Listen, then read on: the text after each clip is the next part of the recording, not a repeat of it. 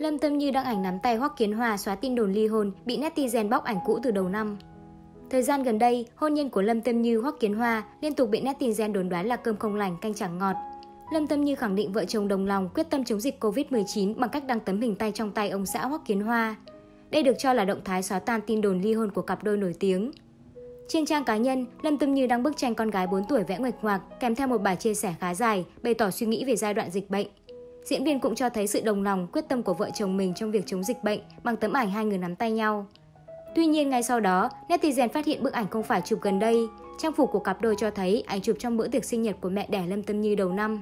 Trước đó, một đoạn video được chia sẻ trên mạng xã hội cho thấy Lâm Tâm Như, Hoắc Kiến Hoa và gia đình hai bên cùng lên sân khấu hát ca khúc tập thể. Trong video, Hoắc Kiến Hoa đang hát, anh vòng tay ôm mẹ của Lâm Tâm Như. Trong khi đó, Lâm Tâm Như và mẹ chồng đứng cạnh đó ôm nhau rất tình cảm. Video được cho là quay trong ngày sinh nhật của mẹ đẻ Lâm Tâm Như, cho thấy quan hệ giữa hai gia đình rất tốt đẹp. Sau khi loạt ảnh được hé lộ, khán giả khen ngợi Lâm Tâm Như giống mẹ. Không ít người đánh giá mẹ Lâm Tâm Như 70 tuổi nhưng thật trẻ trung, ăn mặc sành điệu. Nhiều người còn tinh mắt phát hiện ra mẹ Lâm Tâm Như đeo trên cổ chiếc vòng kim cương đắt tiền mà nữ diễn viên sở hữu. Lâm Tâm Như vốn kín tiếng về đời tư, đây là lần hiếm hoi cô để mẹ lộ diện trước truyền thông.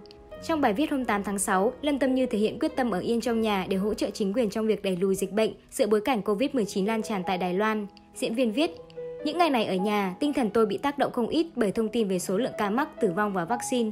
Việc ở nhà hẳn khiến chúng ta lo lắng, khó chịu nhưng bạn biết không, có biết bao người khổ sở hơn chúng ta. Họ là những anh hùng y tế đẫm mồ hôi, là những người làm việc bất kể ngày đêm. Lâm Tâm Như kêu gọi mọi người thực hành lối sống phù hợp mùa dịch, ví dụ mang đồ ăn về nhà thay vì ăn tại cửa hàng, hạn chế dù bạn bè tụ tập, hạn chế du lịch, nhẫn nại, chủ động, tích cực hơn trước.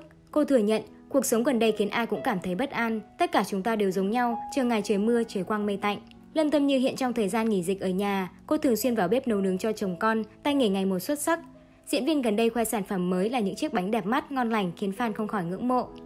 Nữ diễn viên chia sẻ hài hước, ai cũng sẽ tiến bộ nếu bị đẩy vào tình thế buộc phải làm. Giờ đây tôi có thể hét to lên rằng tôi đích thực là một đầu bếp rồi, không có lý do gì để né tránh việc nấu ăn nữa.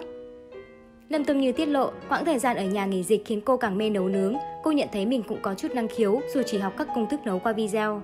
Từ một ngôi sao vắt óc cho vai diễn, giờ cô vắt óc nghĩ xem ngày hôm nay sẽ nấu món gì cho cả nhà ăn. Cũng trên trang cá nhân, Lâm Tâm Như gần đây cho biết cô vừa tốt nghiệp thạc sĩ khoa quản lý truyền thông Đại học Jihatsin, Đài Loan. Cô đăng ảnh tốt nghiệp, đồng thời cho biết do dịch bệnh, cả lớp không thể tham dự buổi tốt nghiệp trực tiếp, do đó mọi người dự lễ tốt nghiệp trực tuyến. Tuy nhiên ngay sau đó, netizen tiếp tục thắc mắc Lâm Tâm Như chưa từng học đại học, sao có thể lấy được bằng thạc sĩ? Một cuộc tranh cãi nổ ra trên mạng xã hội, một bên cho rằng Lâm Tâm Như làm màu, nói dối, số khác lại nghĩ rất có thể nữ diễn viên đã bí mật học đại học. Lâm Tâm Như hiện tích cực hoạt động trong showbiz với vai trò nhà sản xuất, đồng thời quảng bá cho bộ phim mới những rắc rối khi lập nghiệp. Gần đây, khi tham gia một show truyền hình, ngôi sao Đài Loan tiết lộ cô lấy gia đình làm động lực để làm việc thật chăm chỉ. Cô cũng khoe chồng dành nhiều thời gian chăm sóc đón đưa cái heo nhỏ đi học khi vợ bận rộn chạy đua với công việc. Lâm Tâm Như và người chồng Đài Loan đều là những gương mặt nổi tiếng của showbiz, được khán giả yêu thích. Cô kết hôn với đồng nghiệp Hoắc Kiến Hoa năm 2016, con gái cái heo nhỏ hiện 4 tuổi.